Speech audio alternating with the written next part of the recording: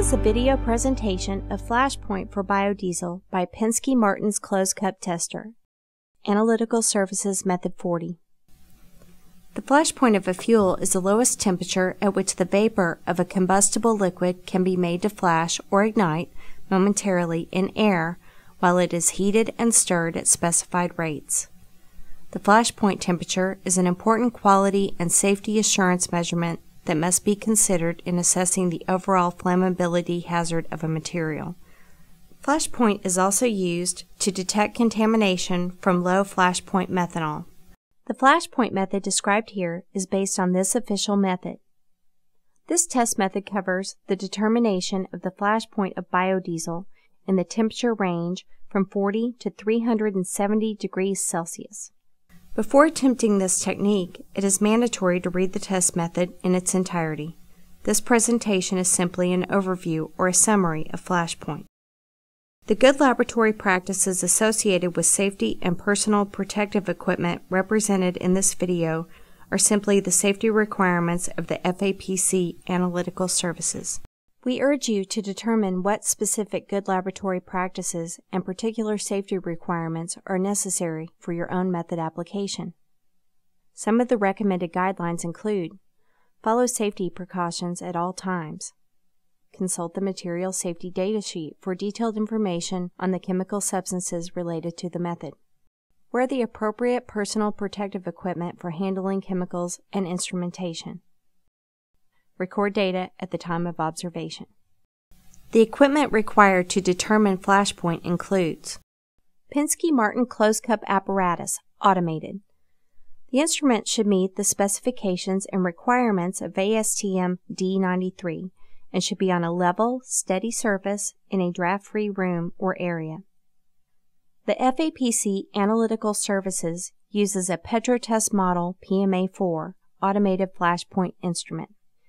It includes the test cup, test cover and shutter, stirring device, heating source, ignition source, and temperature measuring device.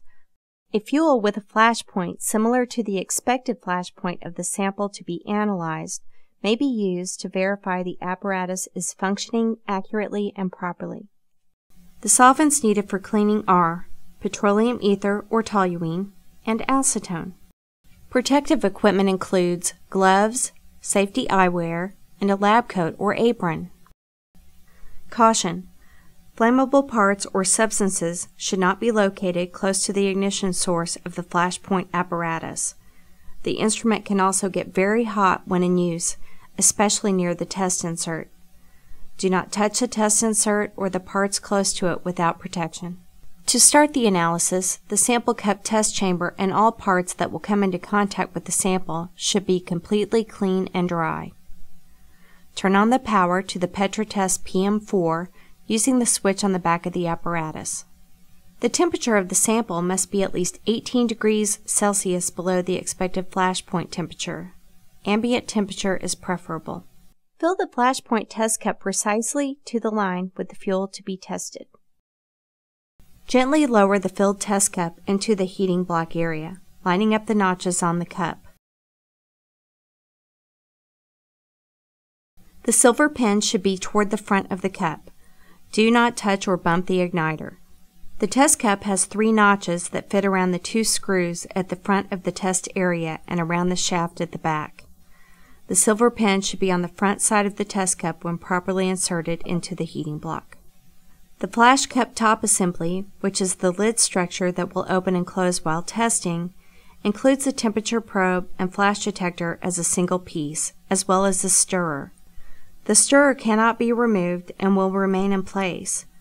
Carefully place the assembled top of the test chamber on top of the sample cup. The lid portion includes a notch, which will fit securely on the silver pin on the test cup. It cannot be assembled any other way.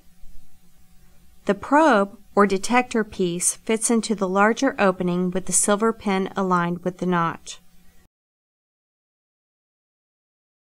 The controller head is assembled on a swiveling shaft that can be turned from side to side and lowered only where it will fit the flash cup assembly. It includes the electronic igniter, the arm that opens and closes the cup, and an external flash detector. It is best to turn the head all the way to the right by gently raising it on the shaft and swiveling it counterclockwise. This will help protect the electronic igniter and other parts from damage when the sample assembly is put in place. Very gently swivel the controller head clockwise until it can be carefully lowered onto the test chamber top. Notice that there are electronic pins that fit into the temperature probe or flash detector piece. Be certain that the open and close arm is properly inserted into the notch on the lid that will cause proper opening and closing of the top of the test cup. All of the parts are extremely delicate and great caution must be observed throughout all assembly steps. The largest number on the display screen is the current temperature of the material in the test cup. Press the return button on the instrument keypad. The cursor will appear in the lower right portion of the screen. This is the area for the expected flashpoint temperature. Use the up and down arrows to change each of the three digits to the expected flashpoint temperature. Use the right and left arrows to move between the digits. Most biodiesel should have an expected flashpoint greater than 120 degrees Celsius.